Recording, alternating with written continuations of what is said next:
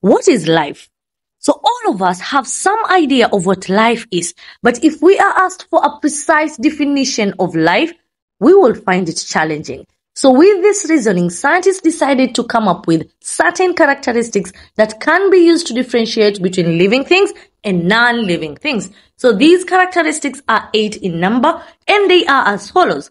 Nutrition, respiration, gaseous exchange, excretion, reproduction, growth and development, irritability, and lastly, movement.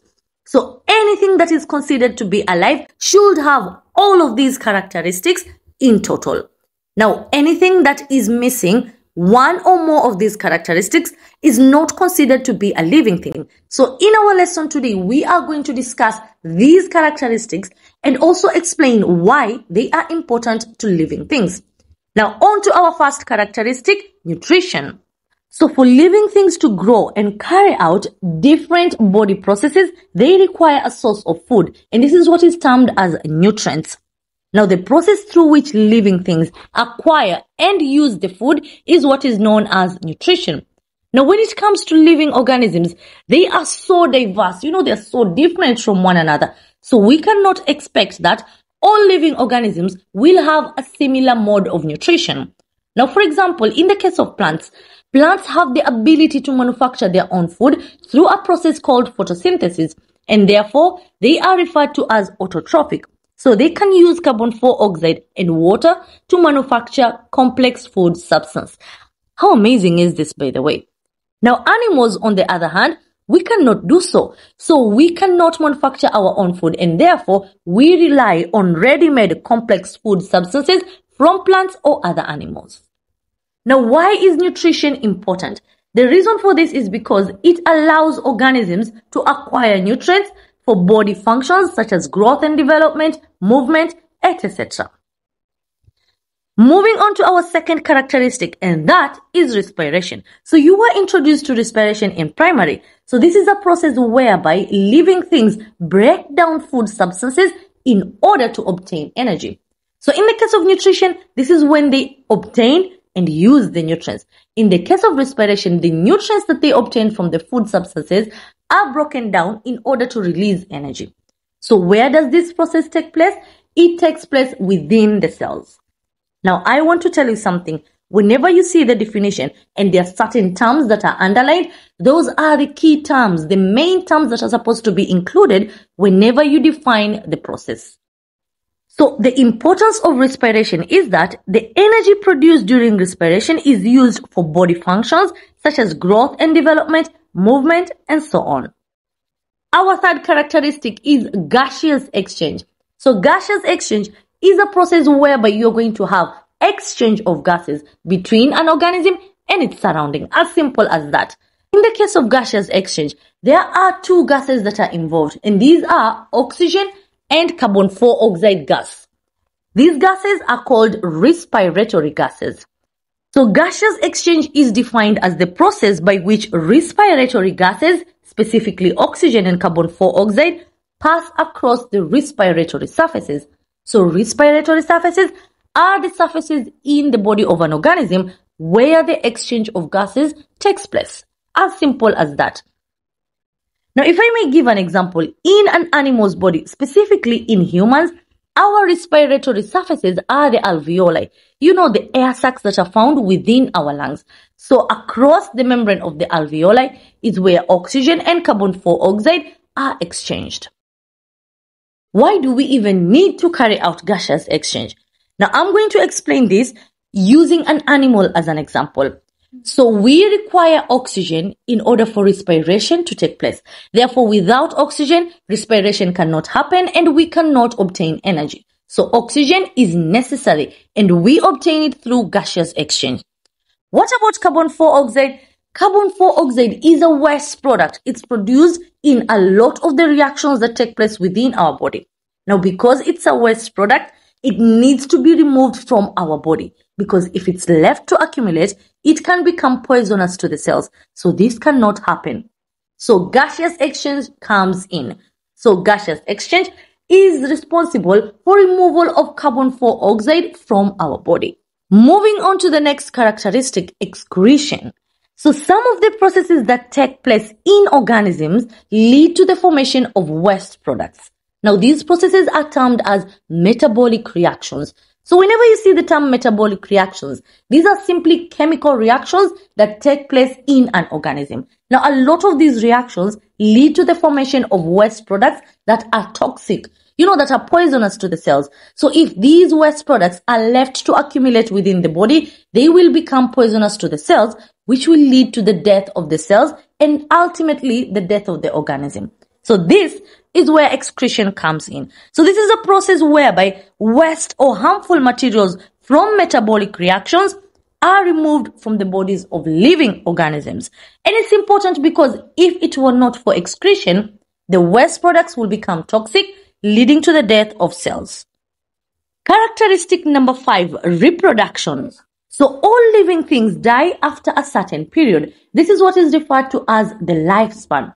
So the lifespan changes from one species to another. For example, humans might have a lifespan of around 60 to 80 years of age and it's different in different animals and so on. For this reason, you find that the living members of a species need to give rise to new individuals. Why?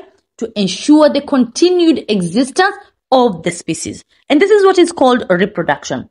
If you're not going to have any new members a certain species, it's going to reach a point whereby that particular species is going to become extinct. It will disappear completely from the world. So this luckily does not happen in most cases because of reproduction. By the way, have you heard of dinosaurs? Dinosaurs existed a long, long time ago, but they are now extinct. And this is something that we don't want to happen to any other. But this is where reproduction saves us all. You know, with reproduction, you ensure the continued existence of a particular species. So how do we define reproduction? So reproduction is a process whereby living things give rise to new individuals of the same kind. Now, I've underlined the following terms, giving rise. We use the term giving rise and no other term. So giving birth and so on, those are wrong. And the reason why they're wrong is because when it comes to organisms, organisms reproduce in so many different ways.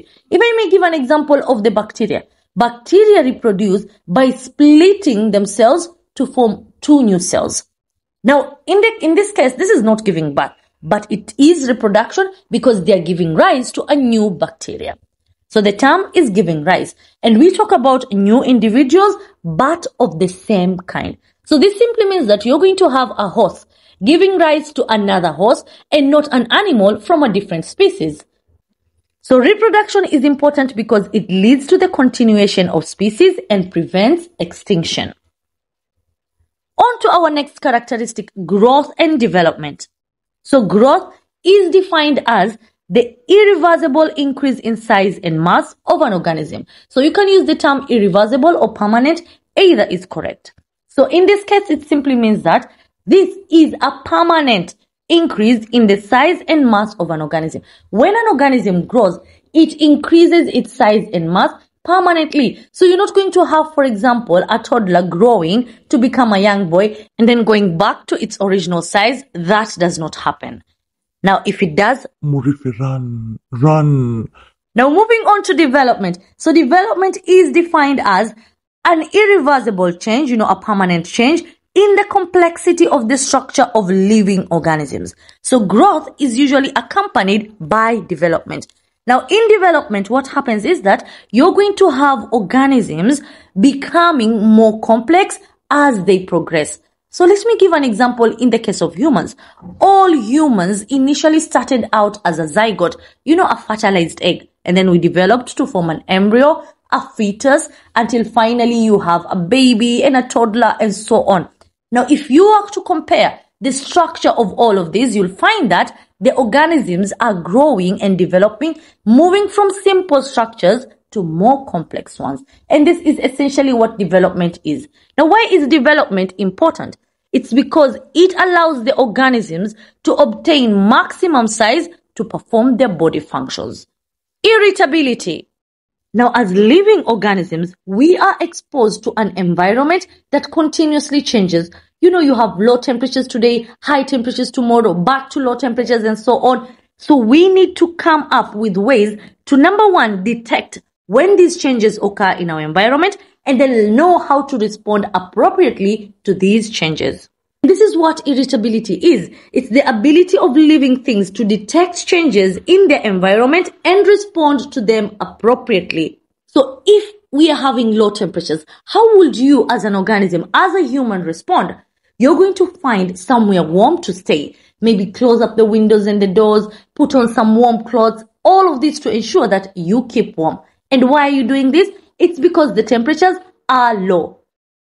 Now, when it comes to irritability, animals are very rapid in their response. You know, they respond very quickly to changes in their environment, but plants respond slower. By the way, I want to make something clear. All living organisms are going to have all of these eight characteristics in total, all of them. So irritability is important because it enables organisms to move towards favorable stimuli and escape harmful stimuli in their environment. Okay, let me break that down. So stimuli are simply changes in the environment. So you're going to have some changes being positive, you know, good for you, and others being negative. So irritability allows organisms to move towards the favorable stimuli, you know, the positive ones, and move away from the negative stimuli. Our last one, movement. All living things move. All living things. Now, when you talk about movement, this is defined as the change in position of either a part of your body or the whole body of an organism. So if you were to change the position of just a single part of your body, that will be movement. So for example, if I was standing still but blinking my eyes, that is movement. And if I were to move my whole body from one point to another, that is also movement. Now when it comes to movement, some organisms have the ability to move their whole body from one point to another. This is seen in animals such as in humans and it's termed as locomotion. So locomotion is the movement of the whole body from one point to another. Other organisms are only capable of moving either one or few parts of their body. This is known as localized movement and it's seen in plants and a few animals. So why is movement important? It enables organisms to search for food, mates, shelter, and also to escape harmful predators and harmful stimuli. And that brings us to the end of this lesson.